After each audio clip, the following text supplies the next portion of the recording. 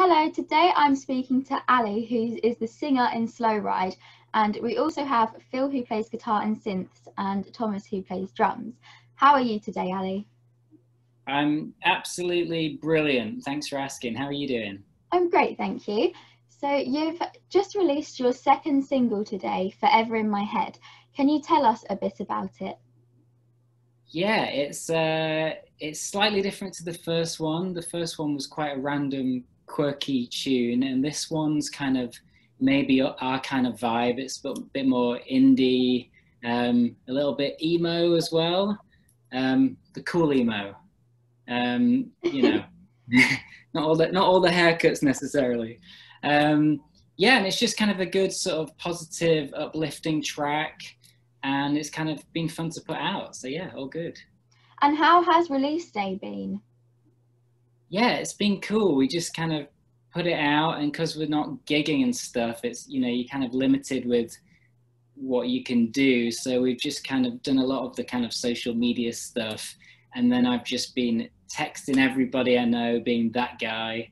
And you know, Phil's been doing all the blog stuff, and Tom's been helping me with all the um, uh, all the design stuff. So we've just kind of come together with all our specialities and just gone full force. Your debut single, I Feel Like You, was very catchy. And I remember commenting that the bass at the beginning reminded me of Portugal the Man. And I read a review on It's All Indie describing it as delightfully squelchy, which I liked as well.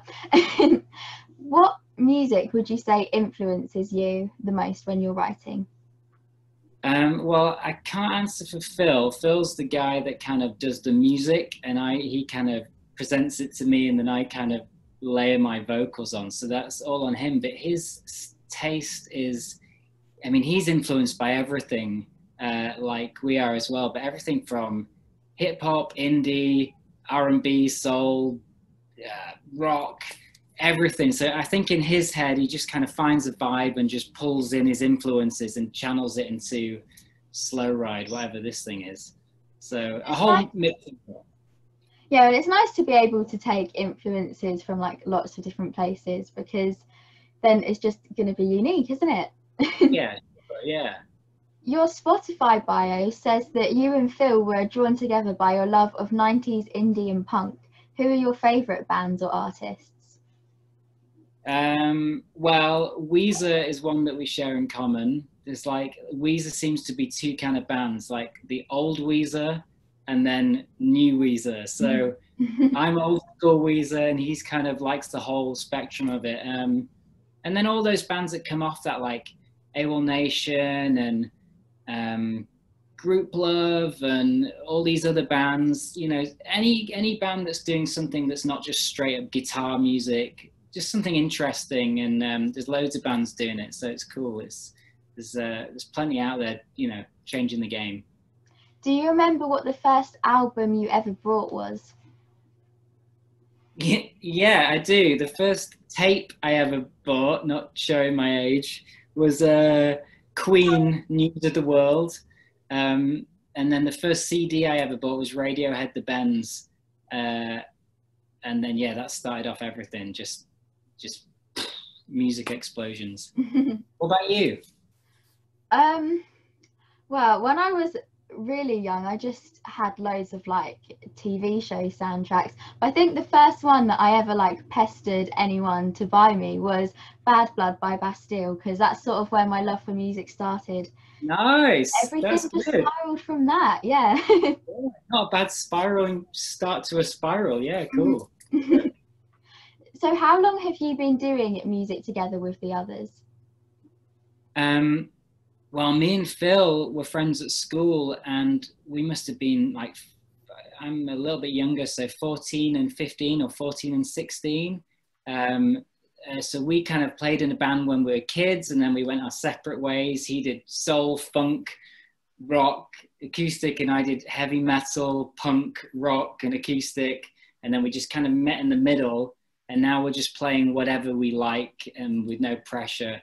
And Tom, uh, he was in our old band, so we just kind of called him up and said, "Want to start a new band? You know, there's no live gigs yet, but just doing a project." So it's all super easy and the vibes really nice and it's just like three brothers in a band really. So it's all good.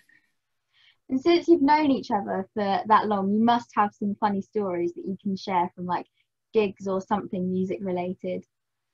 Oh man. Um, oh well, one that springs to mind is Phil. Uh, seems to always before gigs just you know grab some food just before a gig, and he got food poisoning before one gig, and we couldn't find him.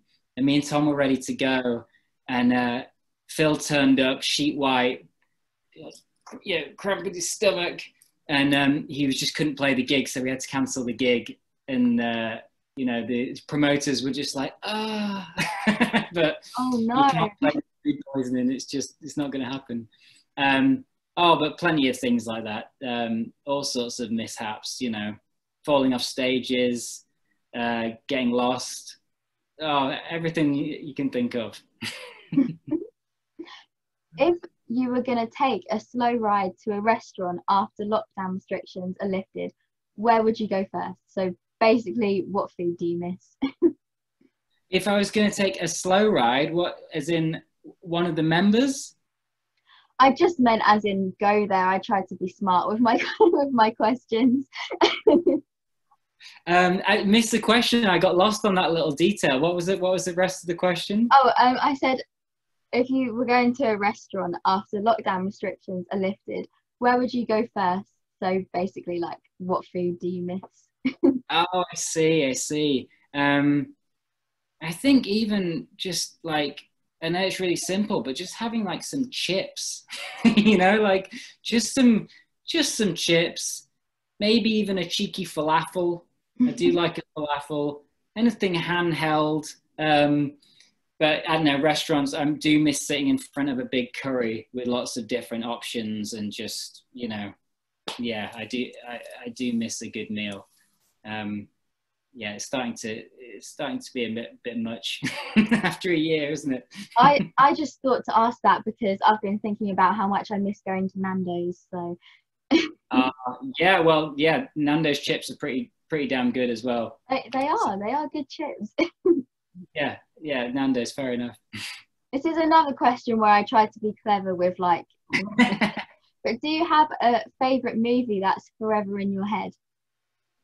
Nice. I see what you did there. Good one. Um, oh, yeah. I mean, the one that just springs to mind is totally random. I don't know why, but um, True Romance. Did you ever see that? I haven't, no it's got loads of random like people in that you'll know and it's just like a really good film really well written and it's like it might even be tarantino i might be totally off with that one um, but yeah just those old kind of classic films like that um, and then the goonies i don't know where that came from as well but the goonies was a classic any old classics i don't know i like them all anything good with a good story less explosions not so big on all the explosions. Mm-hmm. I'm not so much of a film person. I don't know. I just never sit down to watch them. So I will. I will have a look into that. What was the first one you said again? True Romance. romance. Yeah, True yeah. Romance. Yeah, awesome. have a look. I need to watch some more films. a killer soundtrack as well.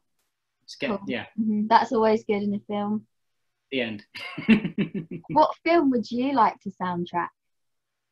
Oh, nice. Well, actually, with these songs, um, when I first got the demos, I was like, wow, these sound really like like a soundtrack, like so almost like a like an advert or a soundtrack. So, um, oh, I don't know, the Bond theme tune would be pretty cool. That'd be quite a cool gig to get. Um, but yeah, uh, what film? Yeah, maybe a Tarantino soundtrack. I mean, it'd probably all be instrumental, but still, that's cool yeah. cool. Mm-hmm. Good for that. so now I've got some who's most likely to questions to get to know you and Phil and Thomas. So who is most likely to mess up during a gig? Uh, not Tom, because Tom's a robot. I've never met anyone like him. He he logs all the information in his head, all of his drum parts, and then just nails it every time. It's kind of freaky. Um, actually feels the same. Phil might fall over, so I might win on that note. But absolutely 100% it'll be me either forgetting lyrics, playing the wrong chord. Um, uh, yeah, I'm taking that one absolutely. Who is most likely to? I guess since you said that Phil falls over, but who's most likely to fall over when walking?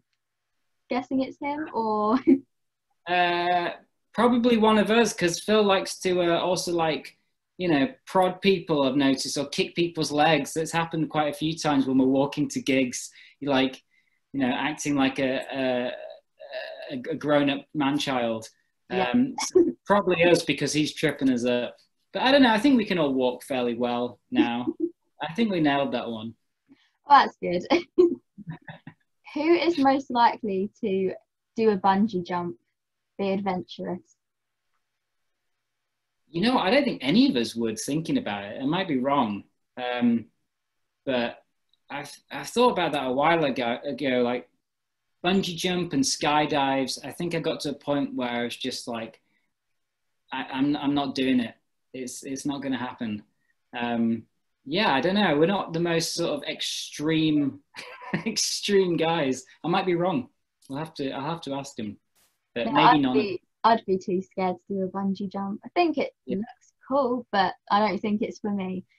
yeah, maybe when I was younger and drunker, but not now. Who is most likely to take over the world? Um. Hmm.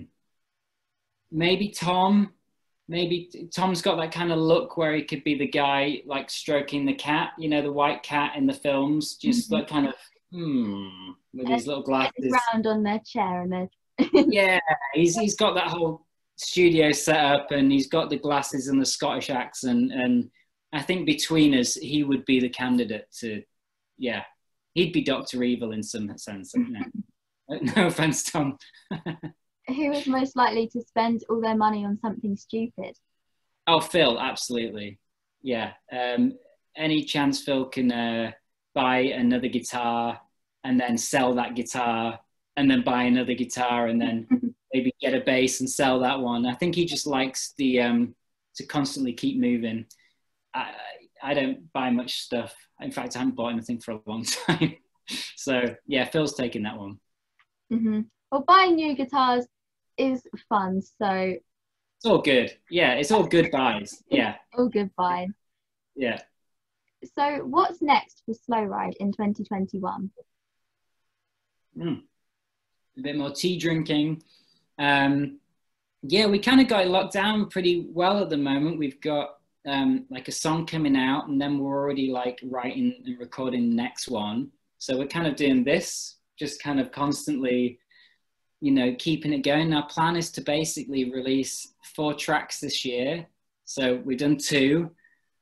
And uh, every three months, basically, just record a song, learn the game, learn how to do it and do it better next time, um, and just try and reach more people. So that's as far as we've got. Just release music every three months and just keep writing demos and keep crafting and keep writing and just not get bored and enjoy the process really. So yeah, it's been great so far. Well, I'll look forward to hearing them, and you might hopefully might be able to have some gigs as well if things start getting better. Hope so, yeah.